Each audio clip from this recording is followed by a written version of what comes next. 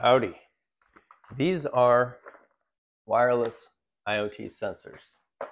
We've got humidity, temperature, barometric pressure, infrared temperature um, for contact of surface, and there are so many more, including um, light sensors, infrared light sensors, and ambient or UV light, motion detection.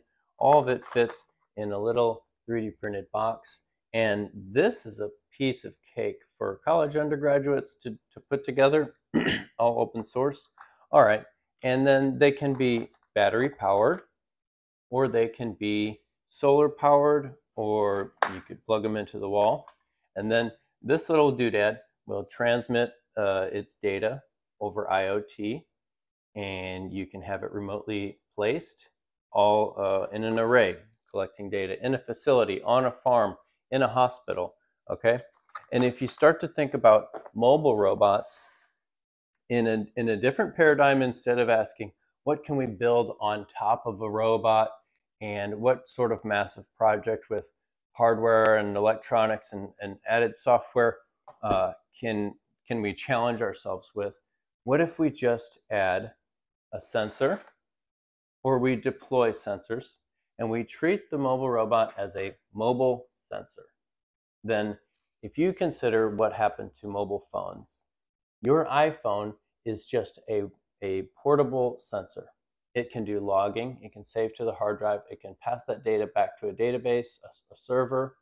The data can get aggregated, and then every application that was ever built that adds value in your mobile phones, all the way down to Google Maps traffic monitoring this is just an impact of having sensors that can go where we need them to.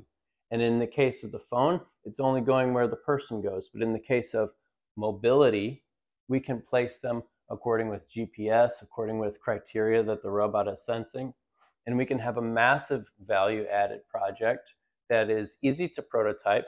And maybe it moves most of your work over to only writing some software writing a GUI, uh, a menu for the user to, to work through. And this is um, really heavily uh, opening options for business to business. So if you want to design a project that has value in the real world, that is commercializable, let's, let's try to constrain our efforts to the spaces where we have a, an existing skill set.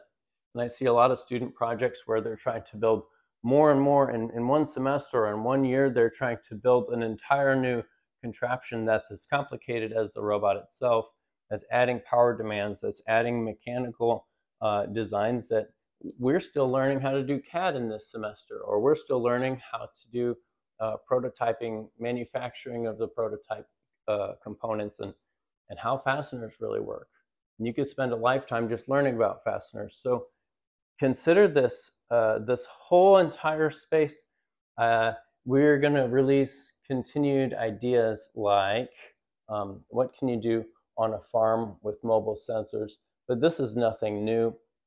The new part is let's not reinvent the wheel. Let's take these open designs that have already been tested out, use that for my prototype, and then when I create a project with my team, then our added value is on the system that's going to deliver a new result. And then we can really operate in our specialty, such as if you're a software person, an AI person, if you're really good with Python, then that's where you focus your energy. And this is all borrowed and documented and uh, free to use and free to repeat and that's what Scuttle is all about. It started in the classroom. It started with teaching mobile robotics. That uh, demand for teaching is not going away. The demand for learning, and we see folks who have PhDs in other engineering disciplines, and they're still they're here feeling like at home, learning the basics of something mechanical or some power delivery systems, batteries, and uh, having that all already made and already uh, written out with videos and, and instructions and data sheets make your job easier and this is my uh, my message basically for capstone teams and student design teams research teams that are on a one-year timeline.